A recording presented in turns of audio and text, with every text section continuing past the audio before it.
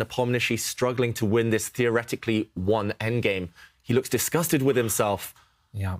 Oh my, I think he realizes it that he's not going to be in time to convert this one anymore. I think he, he, he needs to go back and look at the technique, as we all do. Very easy to forget it, but amazing, amazing stalemate trick there that Magnus oh pulled off. oh my gosh. He really has nine lives, Magnus Carlsen. Yeah. How does he keep doing this? Hopeless Yeah. situations. Many of us would have resigned. And, Yeah, and and it's going to happen now. Two more moves and it just stops. Okay. 50 move rule signals no progress, no captures, no pawn pushes, and it will be a draw. Magnus just needs not to blunder his rook What, on the next Oh. move. what happened? Okay, he's a bit worried, but he's made the draw. Unbelievable. Does it? What Unbelievable. is this drama, Magnus Carlsen?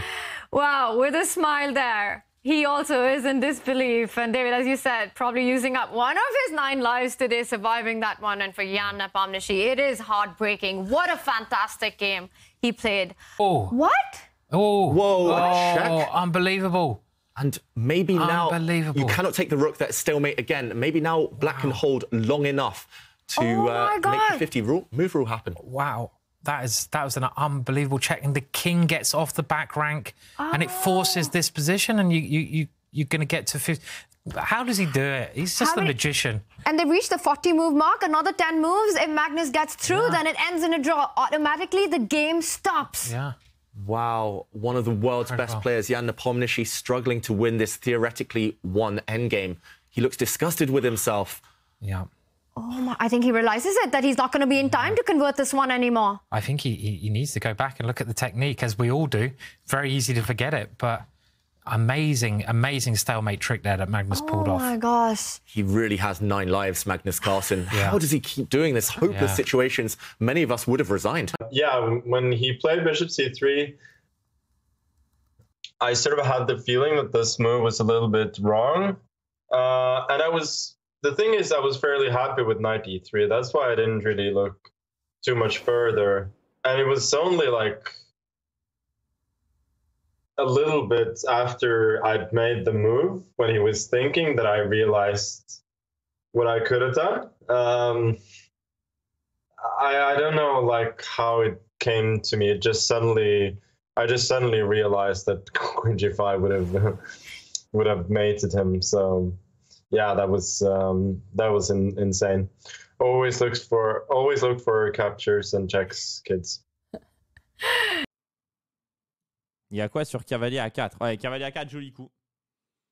Euh, je pense sur cavalier A4, il y a dame prend 1. Pas intéressant. Roi H2, dame prend F6, ouais. Ça, ça a l'air vraiment fort. Très très belle variante. Avec cavalier A4, dame prend 1 et, et, euh, Roi H2, dame prend F6. Bah ouais, ça arrive sur échec sur cavalier A4. C'est ça qui est beau sur cette ligne.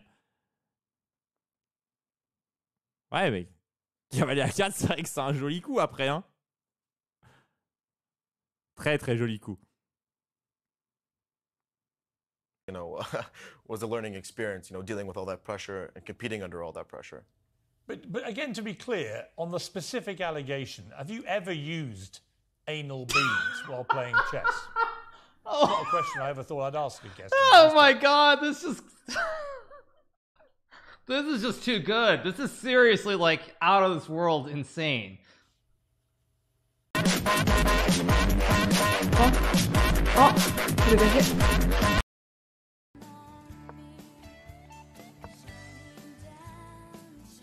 Ola? Proszę, nie podstaw widełek jakichś losowych, naprawdę. Nie zrób mi tego.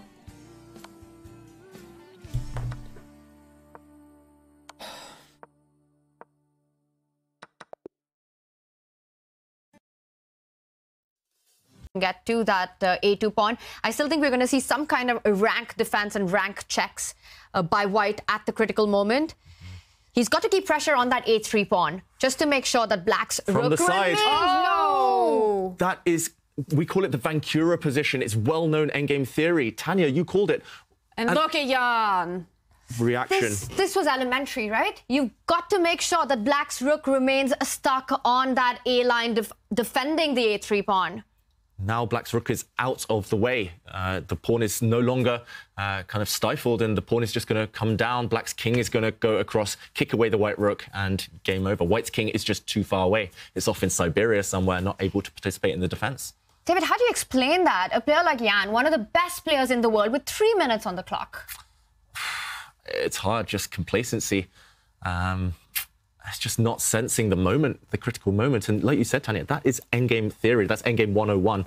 You grip it, you, you tip, you grip, mix, and you lick. Kind of nearly rhymed, but it didn't.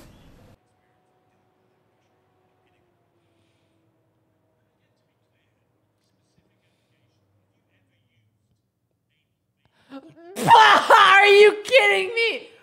Oh my god. Okay, we're gonna come back to this. I'm sorry, my game just started.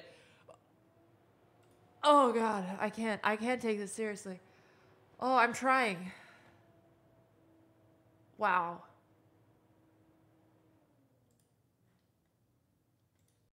Peut-être c'est plus une truite qu'un saumon en fait. Les truites, je pense, ça fait ça. Non? It's GG. All right, get the win. Three out of three. Big win. Let's keep moving on. Okay, let's watch Magnus's game, of course, when it starts. Thank you, Suzanne, for the five gifted. Thank you so much to Suzanne. Appreciate it. All right, so okay, let's go back. Let's see the games in progress. Let's watch Magnus's game. Let me change the scene, of course. Okay, Magnus is apparently a little bit worse against Elon Schneider, but Magnus is up on time. His opponent's got five seconds. He put out a public statement that he's, he will play Right, but there's me. no date, right? So, well, when, it, when we are matched in a tournament, uh, which, which is, is inevitable, uh, uh, uh, we will play. And will you allow yourself to be strip searched just to rule out any rumours? Whoa. Uh, there, there, there's a touch again. Jeez. find that question to be just, you know, I, I can't take you seriously when you ask those questions, Piers. I'm sorry. Because you're, you're entertaining, uh, uh, uh, honestly, an allegation that should, should not even be taken seriously. Because it's, it's purely, you know, for, you know, for you to get media attention. When this, when this is, it's not even a serious thing. How can, how can you, as a reporter, take that allegation seriously at all? Well, listen, Elon Musk. Uh, who No, but I know. Do you genuinely believe that? No, but do you, do you, Hang uh, you know, do you actually I- believe that, that I- that is the case? I don't know. Could you could you even I don't fathom know. a world I don't know. where- I know you're is- capable of cheating because you've admitted it. I don't know how far you go. Mm. You cheated twice in a Well, four-year I've never cheated in an over the Even a Call of Duty. And you, it was a similar similar manner. You see, Call of the first- Duty? I mean, if, if you like cheat with aim assist or some of these other things in Call of Duty, you get banned from Call of Duty. What is he even talking about? Like you get banned if you if you get if, if you get caught cheating in COD, you, you get banned. Like it, it, it's this is not exactly like rocket science. That's one you can put down to being a 12-year-old kid. All right, you make him